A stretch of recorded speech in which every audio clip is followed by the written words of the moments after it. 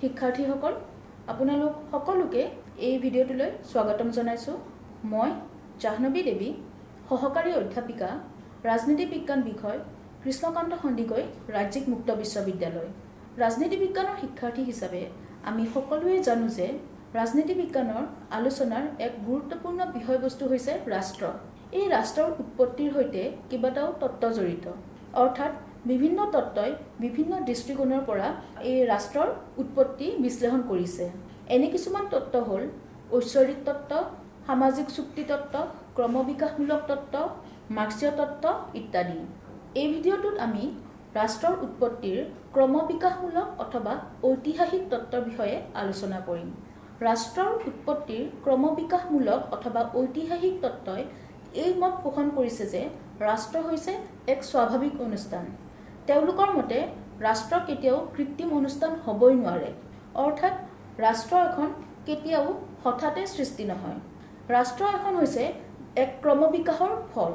বিভিন্ন পৰ্যায় অতিক্ৰম কৰি বিভিন্ন ক্ৰমবিকাশৰ বিভিন্ন স্তৰ অতিক্ৰম কৰি ৰাষ্ট্ৰ এখনে বৰ্তমানৰ অৱস্থিতি লাভ কৰিছে। এক সুদীৰ্ঘ সময় ধৰি অতি মন্থৰ গতিৰে সমাজ এখনৰ ক্ৰমবিকাশ ঘটাৰ ফলতহে ৰাষ্ট্ৰ এখনৰ বৰ্তমানৰ ৰূপটোৱে অৱস্থান লাভ কৰিছে। ক্ৰমবিকাশমূলক তত্ত্বৰ মতে বিৱৰ্তনৰ বহুকেইটা পৰ্যায় পাৰ হৈহে ৰাষ্ট্ৰই বৰ্তমানৰ ৰূপ ধাৰণ কৰিছে। ক্ৰমবিকাশমূলক তত্ত্বৰ সমৰ্থকসকলে কৈছে যে ৰাষ্ট্ৰৰ ক্ৰমবিকাশত বিভিন্ন কাৰকে বিভিন্ন ধৰণে প্ৰভাৱ বিস্তাৰ কৰিছে। এনে কিছুমান কাৰক হৈছে সামাজিক প্ৰৱণতা ছ'চিয়েল ইনষ্টিংক্ট স্বগোত্ৰীয়তা কিংশ্বিপ শক্তি অথবা যুদ্ধ ফ'ৰ্চ অৰ ৱাৰ ধৰ্ম ৰিলিজিয়ন অৰ্থনৈতিক কাৰ্যকলাপ ইকনমিক এক্টিভিটিজ আৰু ৰাজনৈতিক সচেতনতা অৰ্থাৎ পলিটিকেল কনচিয়াছনেছ শিক্ষাৰ্থীসকল আহক আমি এতিয়া এই কাৰকসমূহৰ বিষয়ে সংক্ষেপে আলোচনা কৰোঁ।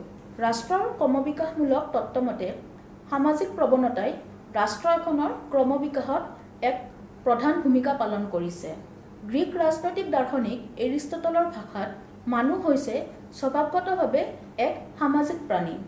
এৰিষ্টটলে দৃঢ়ভাৱে বিশ্বাস কৰিছিল যে মানুহে নিজৰ এই সামাজিক প্ৰবৃত্তিৰ বাবেই ৰাষ্ট্ৰৰ প্ৰয়োজনীয়তা উপলব্ধি কৰিছিল যাতে ৰাষ্ট্ৰৰ ভিতৰত সকলোৱে এক সুৰক্ষিত জীৱন নিৰ্বাহ কৰিব পাৰে।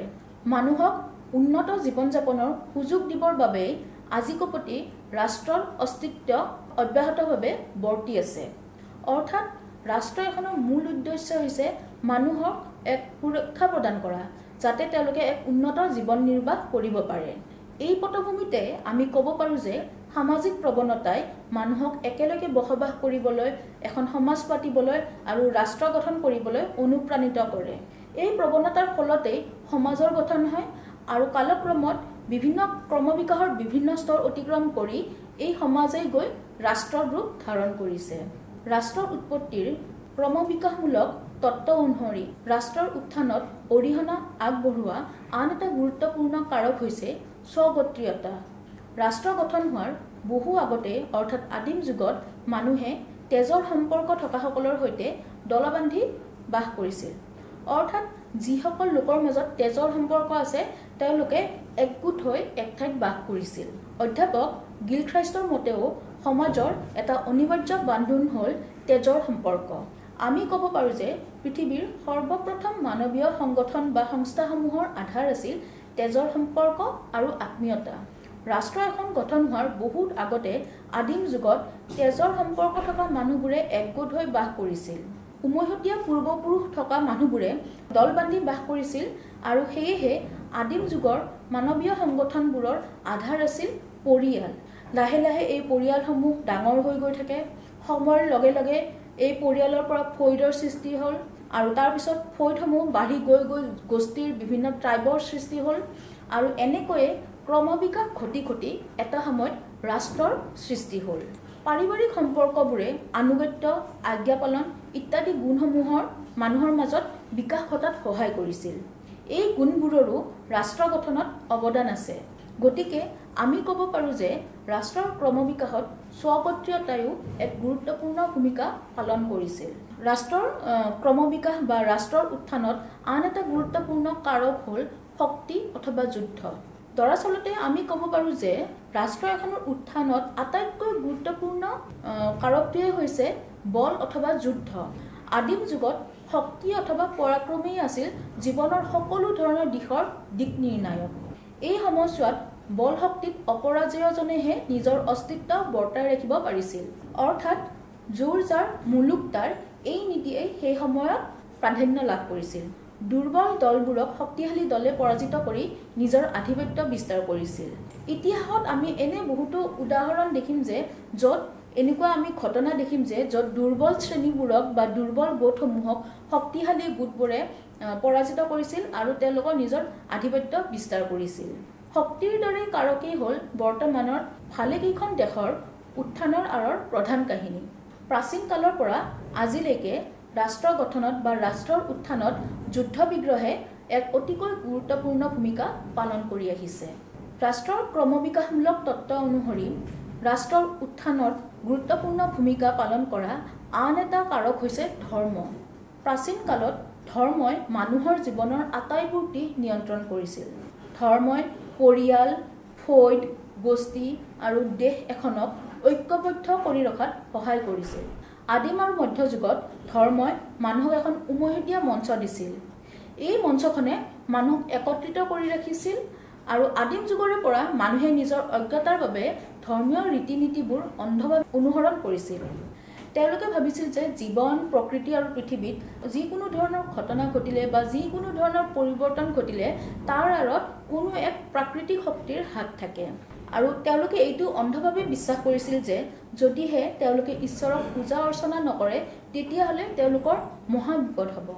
মানুহৰ এনেধৰণৰ অজ্ঞতা বা এনেধৰণৰ অন্ধবিশ্বাসৰ সুযোগ লৈয়েই পাছৰ সময়ছোৱাত বাজিকৰ ৰজাৰ শাসন আৰম্ভ হৈছিল। এই বাজিকৰ ৰজাসকলে নিজৰ কৰ্তৃত্ব বিস্তাৰ কৰিবলৈ বিভিন্ন ধৰণৰ অপশক্তিক বশ কৰিব পাৰে বুলি তেওঁলোকে প্ৰচাৰ চলাইছিল। কালক্ৰমত এই বাজিকৰ ৰজাসমূহক বা ৰজাকেইজনক পৰাজিত কৰি অপ বা অপহৰিত কৰি তেওঁলোকৰ স্থান লৈছিল পুৰোহিত ৰজাসকলে। এনেধৰণেই মধ্যযুগৰ শেষলৈকে এই পুৰোহিত ৰজাসকলে তেওঁলোকৰ ক্ষমতা আৰু কৰ্তৃত্ব উপভোগ কৰিছিল। উদাহৰণস্বৰূপে আমি খ্ৰীষ্টান ধৰ্মৰ ধৰ্মগুৰু পোপৰ আধিপত্য বিস্তাৰৰ বিষয়ে আমি উল্লেখ কৰিব পাৰোঁ। গতিকে ক'ব পাৰি যে প্ৰাচীন কালৰে পৰা মানুহক ধৰ্মই একত্ৰিত কৰি ৰাখিছিল আৰু এই একতাই বা এই ঐক্যতাই ৰাষ্ট্ৰ এখন গঠন হোৱাত যথেষ্ট অৰিহণা যোগাইছিল। ৰাষ্ট্ৰ এখনৰ ক্ৰমবিকাশত বা ৰাষ্ট্ৰ এখনৰ উত্থানত প্ৰভাৱ যোগোৱা আন এটা কাৰক হৈছে অৰ্থনৈতিক কাৰ্যকলাপ। মানৱ সভ্যতাৰ আৰম্ভণিৰে পৰা মানুহৰ মাজত বিভিন্ন ধৰণৰ অৰ্থনৈতিক প্ৰয়োজন আৰু অভিলাষে গা কৰি উঠিছিল। তেনে প্ৰয়োজন বা তেনেধৰণৰ অৰ্থনৈতিক প্ৰয়োজন আৰু অভিলাষসমূহ পূৰণ কৰাৰ বাবে মানুহে পৰস্পৰৰ ওপৰত নিৰ্ভৰশীল হ'বলগীয়া হৈছিল। যিহেতু তেওঁলোকে নিজেই সকলো ধৰণৰ যিবোৰ প্ৰয়োজন সেইবোৰ পূৰণ কৰিব পৰা নাছিল আৰু ইয়াৰ ফলস্বৰূপে সমাজ এখনত ইজনে আনজনৰ ওপৰত নিৰ্ভৰশীল হ'বলগীয়া হৈছিল। এই পৰস্পৰ নিৰ্ভৰশীলতাই মানুহৰ মাজত অৰ্থনৈতিক সম্পৰ্কৰ জন্ম দিছিল।